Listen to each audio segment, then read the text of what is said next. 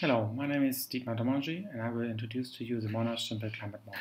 The Monash Simple Climate Model is a web-based interactive interface where you can learn about the climate, climate models and climate change simulations.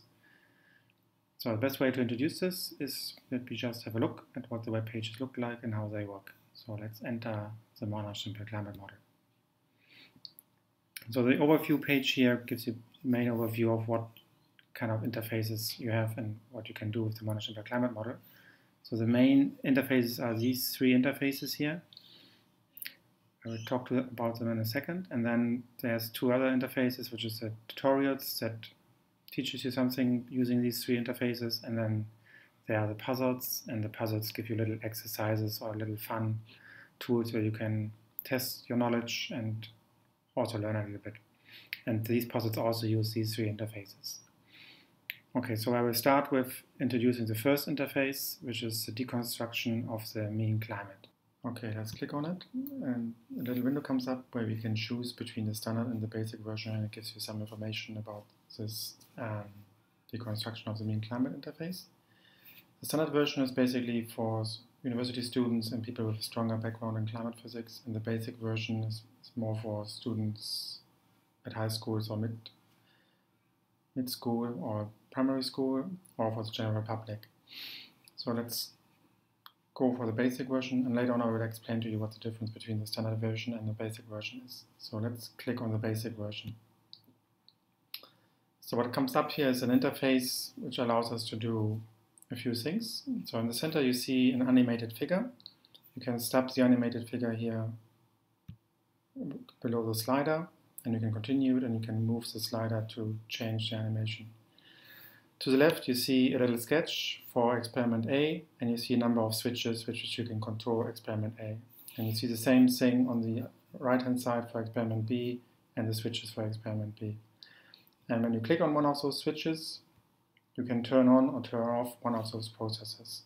And depending on what kind of combination you do, you simulate a number of processes in the climate system or you don't simulate. In this case here you have switched off everything and it's only the sun, summer, uh, shortwave radiation and the thermal radiation going back to space.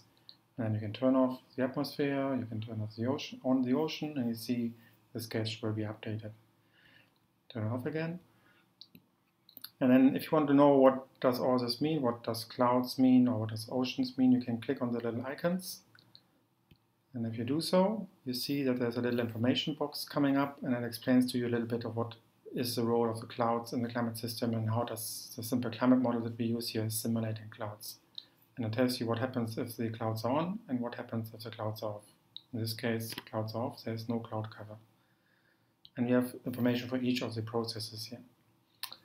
Every time you click on one of those um, switches, you see that the figure is not changing. In order to change the results, you have to click on update the figure. So let's do a little experiment. Let's say we turn on everything here, but we turn off the clouds. So you see there's no clouds in this sketch and there's a cloud in this sketch. Everything else is the same. And then click on update the figure.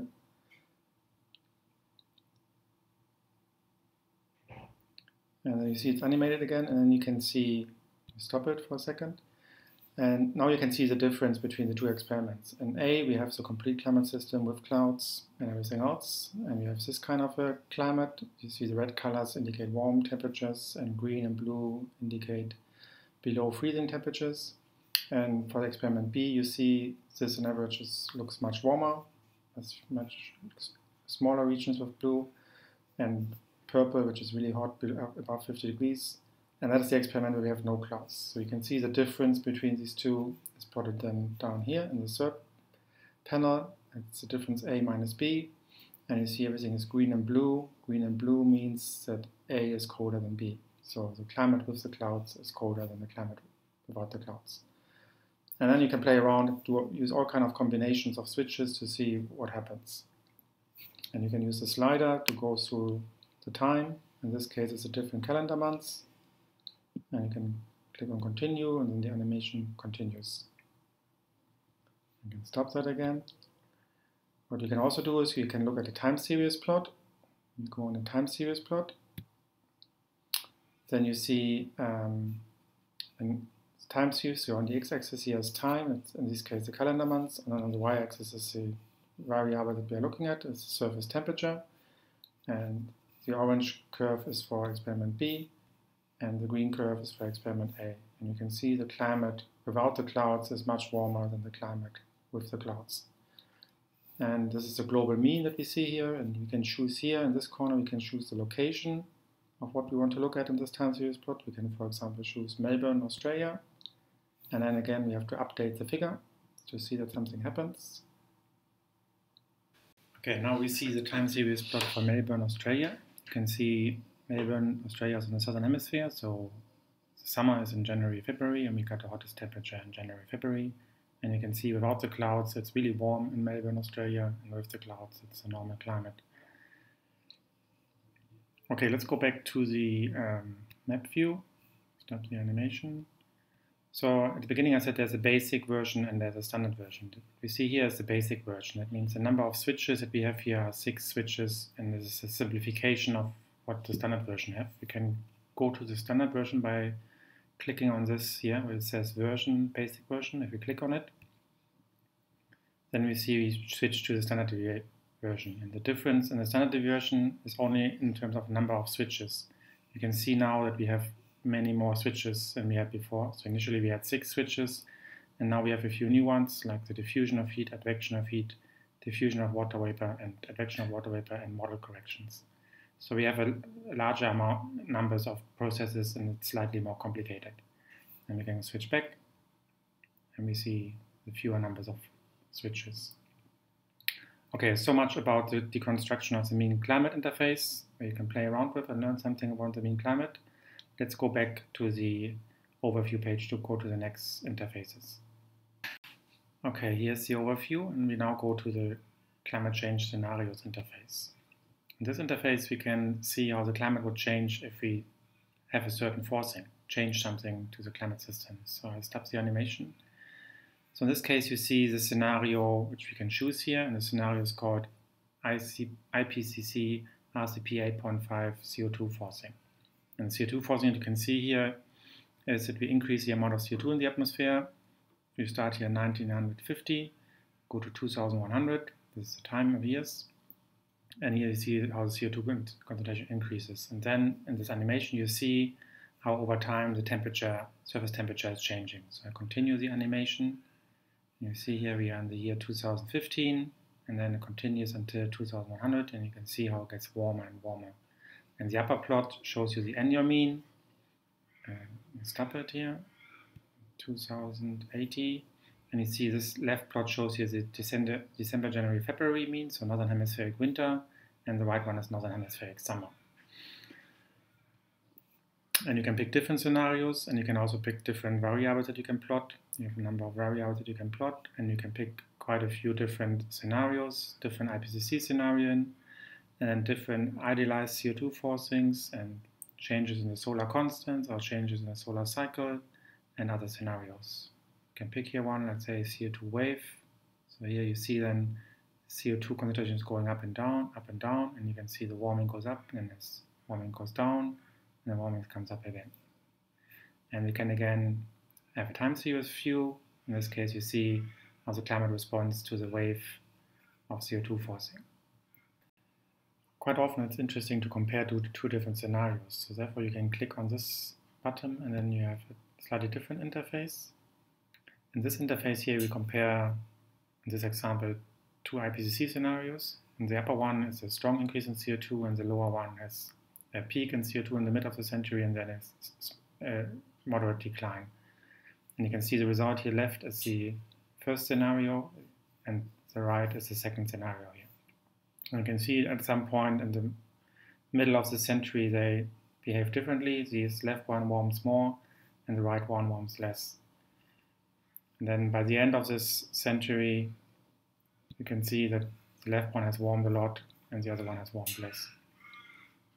So this interface here then uh, allows you to compare quite a few different scenarios with each other and you can see what the different effects and what the different scenarios, how the time evolution is different in these scenarios and the response patterns are different. Okay, so so much about the scenarios interface. So let's go back to the overview. We have the overview again, and now look have a look at the deconstruction of the response to a doubling of CO2 interface. This is quite similar to the deconstruction of the mean climate. So again, we can choose a standard or basic version. So let's go for the basic version again. And we have a very similar interface as for the mean climate. Let's stop the animation first.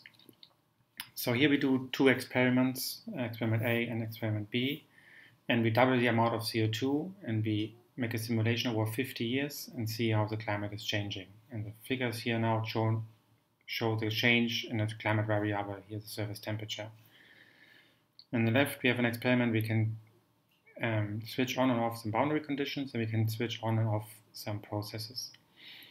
How this works is described a little bit more detail. If you click on the heading here, you can see a little bit more information of how this response experiments work. And in this case here, we have everything switched on, so the whole climate is able to respond. And in this case here, we have switched off the boundary conditions. That means we have replaced realistic clouds with um, clouds everywhere the same, and the same humidity. And we have these feedback processes, we do not allow them to respond. And then we can see how the different responses look like. If we continue our animation, we see that the left one is warming more over land and less over the oceans. It has a distinct pattern, while the right one is everywhere the same. There's almost no pattern. We stop it and we see at the very beginning of the simulation, everything is zero, and it warms first over land and then it warms the rest. And at the end of the simulation, after 50 years, the left one has a distinct pattern and the right one has no pattern. And by switching on and off, you can see how this pattern comes about. And you can, of course, also have a time series um, over the 50 years and compare the two different time series. And again, we have a basic, we can go to the map, we have a basic version that we see right now, and then the standard version is again a little bit more complex with more parameters that we can choose from. Okay, so this is a deconstruction of the response to doubling of CO2 and it helps you to understand how the climate change pattern comes about and why the climate is warming by a certain amount if we double the amount of CO2. Okay, so let's go back to the overview, to the next interface. Okay, so we have been through the three main interfaces and now the next two are different versions of playing around with these three main interfaces. The first one are tutorials in the tutorials, you see basically a number of tutorials for the basic level and a number of tutorials for the intermediate, the standard level. And you see in this case here, you have a number of tutorials that explain to you the mean climate. You have the role of processes in two different versions. You can follow this assembling the components where you build up the climate step by step, something about clouds, CO2 concentration, and something about the model errors. And you have a tutorial on how the climate change response looks like and the different elements of the response. And you have similar ones on the basic level. They are here a little bit faded because they are not active yet. We are still working on them, but soon they will be available. You can go through these different uh, tutorials and you learn step by step a bit of a discussion of these different interfaces. Okay, so let's go back to the overview. Okay, and then we can have a look at the puzzles. The puzzles are basically little problems where you can get feedback and you have fun playing around with these interfaces. You see you have three different levels, beginner's level, intermediate level, and then the expert level, which is very difficult. So let's just look, have a look at one of those to see the basic idea of how these puzzles work. Each of them is different. So here, climate elements is a very simple one. It explains a little bit what the puzzle is about and how you can solve it. I'll show you here an example. Again, we have a similar um, interface as the deconstruction of the mean climate. Let's stop the animation for a second. So here we have again the switches, but now the switches have no names. They're just A, B, C, D, E, F, G. And you have to figure out what kind of process is uh, controlled by the switch A. And then if you know which one switch A is, you can put it into this table. Let's have a look. For example, try it out. Let's put on A and we update the figure. And you see in this case, mostly it gets colder, but then in the winter and the Arctic it gets warmer. To me, as a climate expert, I would say these are probably the clouds. So process A is cloud. And then we try to figure it out for each of these different switches. And eventually, if you think we have a solution, you just randomly put in here some values. And if we think we got the right solution, then we try submit solution. And then, oops, sorry, there was something wrong in the solution. So try again. And eventually, if you get the right solution, you will see a congratulations window and a happy face. Okay, so this is one of the examples of how you can have little exercises and learn a little bit, test your knowledge on the climate system. Let's go back to the overview. Okay, so basically we've been through all the different um, interfaces. We have the three main interfaces and then the two interfaces playing around with the three main interfaces. And that's basically all of the Monash Simple climate model. So I hope you like it and play around with it, with it and hopefully you learn something about the climate, climate models and climate change. Thank you.